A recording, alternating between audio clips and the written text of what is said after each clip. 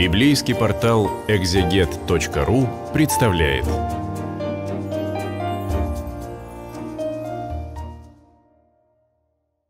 На библейском портале «Экзегет» мы продолжаем с вами рассмотрение Евангелия от Иоанна, 10 глава.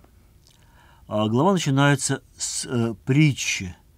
А мы с вами знаем, что Иисус Христос много учил притчами, и такие притчи мы с вами во множестве встречаем у предшествующих евангелистов.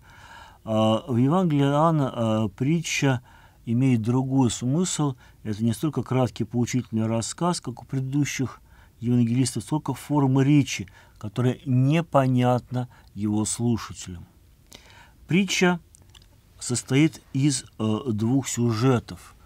Притча о добром пастыре.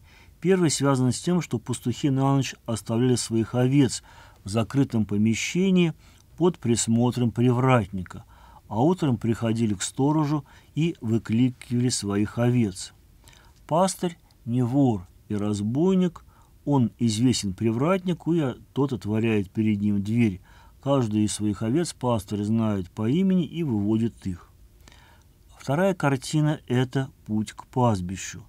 Овцы следуют за знакомым голосом, чужой голос напугал бы их, и они бы разбежались. А в притче пастырь противопоставлен ворам и разбойникам и другим пастухам. А, наверное, нет необходимости объяснять, кто это такие, кто такой сторож, который открывает пастырю дверь, или те, те волки, которые желают погубить стадо Христова. А, что означает, что все предшественники Христа – суть воры и разбойники – Конечно, Господь отличает себя от ложных пастырей, каким были фарисеи, иудейские религиозные вожди, но конкретизация таких образов не всегда возможна. Главная тема следующего отрывка – это сохранение овец, ради которого пастырь готов пожертвовать собственной жизнью. Господь развивает здесь те образы, которые привел в предыдущей притче, и э, применяет и к себе. «Я есть дверь, кто войдет мною, э, тот спасется, и войдет, и выйдет, и пажить найдет. Вор приходит только для того, чтобы украсть, убить и погубить. Я пришел для того, чтобы имели жизнь ими избытком имели. Я пастырь добрый, пастырь добрый полагает жизнь свою за овец. А наемник не пастырь, которому овцы не свои, видит приходящего волка и оставляет овец и бежит, и волк расхищает овец и разгоняет их. А наемник бежит, потому что наемник не родит об овцах. Я есть ему пастырь добрый, и знаю моих, и знают меня мои. Как отец знает меня, так и я знаю отца, и жизнь мою полагаю за овец. Итак, а, главная тема – это сохранение овец. А, первое – это то, что Господь объявляет себя дверью для овец – надо сказать, что в то время в Палестине было два вида овечьих загона. А в селах и городах были общие законы, а в которых собирались все стады, и все они там проводили ночь. Такие загоны имели прочные двери, ключ от которых имел только привратник. О таком законе и говорится в начале главы. Когда же в теплое время овцы паслись далеко от дома и не возвращались на селение на ночь, их собирали в загоны на склонах холмов.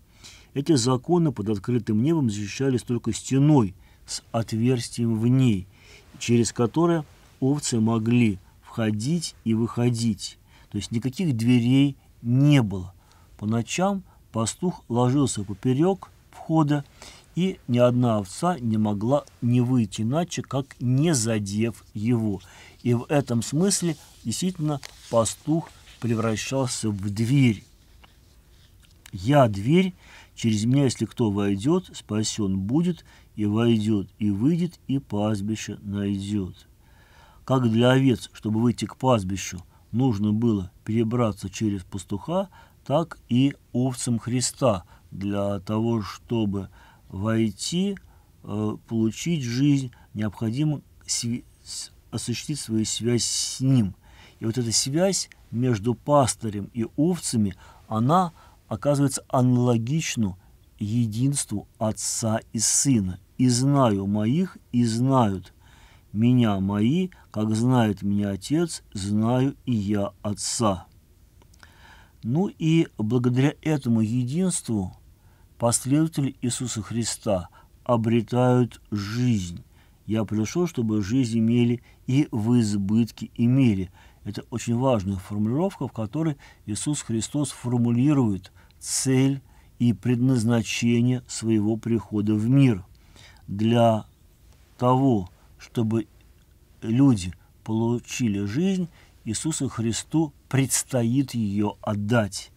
Я пастырь добрый, и душу мою полагаю за овец. Никто не брал ее от меня, но я полагаю ее сам. 10, 14, 18. То есть смерть пастыря, она невозможна без его согласия. Иисусу Христу предстоит умереть, чтобы исполнить ту заповедь, которую Он получил от Отца. И Отец любит его за то, что он добровольно передаст свою жизнь людям. Но мы понимаем, что невозможно лишить жизни того, кто неразделим с Отцом. Поэтому ему смерть сменится воскресением. Власть имею положить ее, и власть имею снова принять ее. 10.18. Но заместительная смерть пастыря не ограничится овцами этого двора, то есть теми, кто сейчас с ним. У него есть и другие овцы. Они перейдут в его стадо, когда услышат его голос. И другие овцы есть у меня не из этого двора, и тех мне надлежит привести, и голос мой они услышат, и будет одно стадо и один пастырь. 10.16. Господь предсказывает здесь привлечение язычников в церковь благодаря проповеди апостолов, которые образуют вместе с иудеями единое стадо единого пастыря. Слова Иисуса Христа вызывают разделение у иудеев. Не понимая, о чем он говорит, многие из них уверены, что в нем бес, и он безумствует. Что его слушать, задают они вопрос – им возражают, если в нем говорит бес, смог бы одержимый исцелить слепого. Настал тогда праздник обновления в Иерусалиме, была зима, и ходил Иисус в храме в притворе Соломоновом, тогда окружили его идеи, говорили ему, «Доколе будешь ты томить душу нашу, если ты Христос, скажи нам открыто». Итак, Иисус Христос уже неоднократно э, говорил о себе в том числе и во время вот этого довольно продолжительного своего присутствия в Иерусалиме, а, который евангелист Иоанн а, рассматривает э, с 7 по 10 главы. И поэтому он говорит, «Я сказал вам, и вы мне не верите». То есть все, что он говорил им ранее, по-прежнему является предметом недоверия и несогласия но подтверждением истинности его слов являются его дела. Зная о них, начальники все равно продолжали не верить. Причина в том, что они не из его овец. «Овцы мои голос мой слышат, я знаю и о них, и они следуют за мной, я даю им жизнь вечную, не погибнут они вовек, и не похитит их никто из руки моей». Итак, для того, чтобы стать овцами стада Христа, надо услышать Его и поверить в Его единство с Богом. Именно таких овец вручил Ему Отец. И поскольку таким образом овцы одновременно принадлежат как Отцу, так и Сыну, то уже никто не сможет их у них похитить, поскольку Отец больше, чем кто бы то ни было – «Я и Отец одно» 10.30 заключает Иисус Христос. А, конечно, иудеи понимают, что своим Отцом Иисус Христос называет Бога, и утверждение своего полного единства с Ним толкает иудеев к попытке побить Его камнями. Ответил им Иисус, много добрых дел показал я вам от Отца. За какой из этих дел побиваете вы меня камнями? Они, то есть они не отрицают да, того, что дела, которые он совершал, действительно добрые. Ответили ему иудеи, не за доброе дело побываем тебя камнями, но за хулу и за то, что ты, будучи человеком, делаешь себя Богом. 10.33.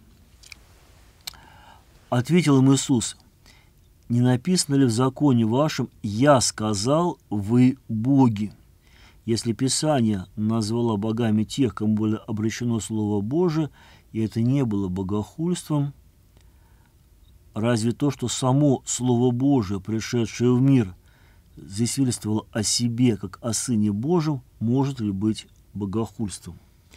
А эти слова а, нуждаются э, для понимания, наверное, в более детальном обсуждении. Э, Иисус Христос цитирует 81-й псалом.